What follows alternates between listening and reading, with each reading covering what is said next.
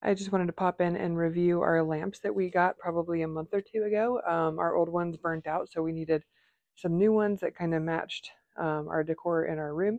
And so we had gone with these um, kind of bronzy dark ones. So just looking up close, you have a nice textured, um, I guess, kind of uh, lighter beige lampshade. And then um, down here, you've got that bronze, sorry, it needs to be dusted, but um, that very dark bronze, very nice finish with some uh, lighter kind of goldish light bronze touches down here, which is really nice. And the size is pretty big. That's a king size bed there. Um, so you can see we got the, the matching lamp set there. And uh, it looks really nice in scale next to the next to the king size bed. So they've held up very nicely. They have um, they screw on the top here.